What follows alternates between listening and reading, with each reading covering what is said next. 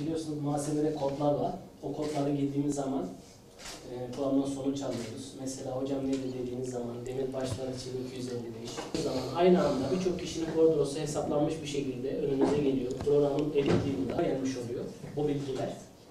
Excel ile ilgili bilgilerde manuel olarak giriş yapabilirsiniz. Yeni bir e, şey yaparsınız, satır açarsınız. Bir yerle anlaşma yapılmıştı. Bunları manuel aldığınız zaman e, bütün detaylı teferruatını mail yoluyla göndermiş olursunuz. Hem de yöneticiniz bunu incelemiş olur.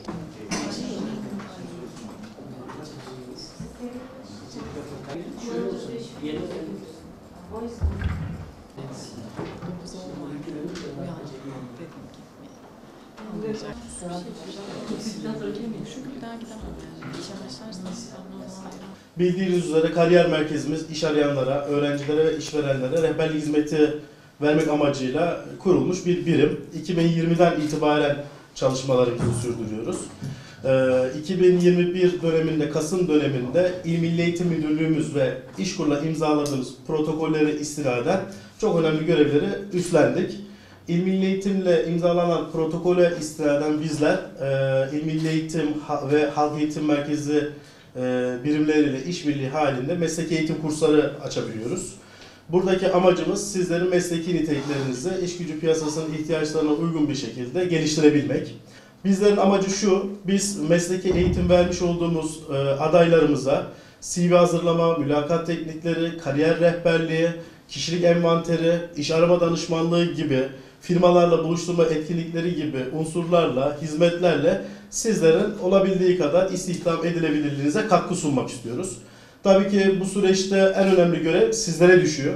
Burada mesleki eğitim almak yetmez, e, CV hazırlamak yetmez, mülakat tekniklerini öğrenmek yetmez.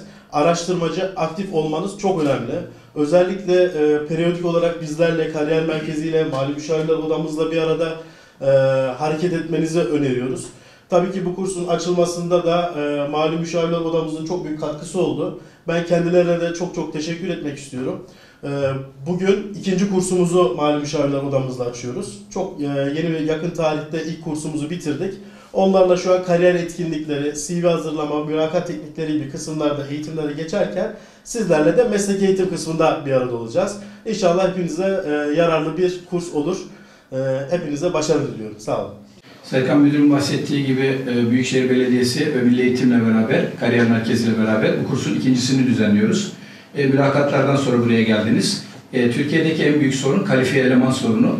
E, bugün bu boşluğu bu kursla dolduruyor.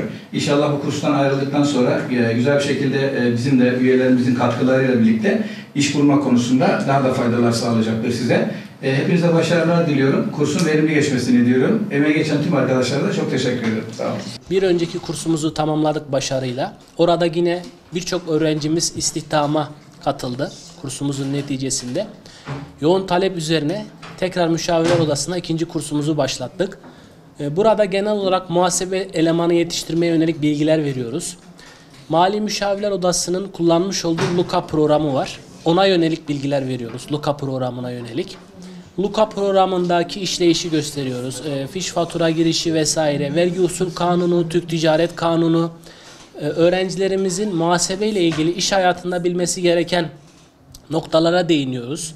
Yine kariyer hayatında, kariyer yolculuğunda bu kursların çok verimli geçtiğini düşünüyorum ben. Bu son süreçlerde işsiz kaldım. İşsiz kalınca bu kariyer merkeziyle alakalı sosyal medyadan bilgi aldım. Oraya başvurdum. CV'mi bıraktım. O süreç işlerken bu muhasebe kursuyla alakalı bir duyuru gördüm. Bunun üzerine başvurdum. Bir mülakat süreci gerçekleşti. Mülakat neticesinde kursa alındık. Başladık bugün kursun ilk günü. Yani verimli olacağını düşünüyorum. Birçok yerde de iş anlamında bu muhasebe şeyi önümüze çıkıyor. Büyükşehir'e de kariyer merkezine de teşekkür ediyorum.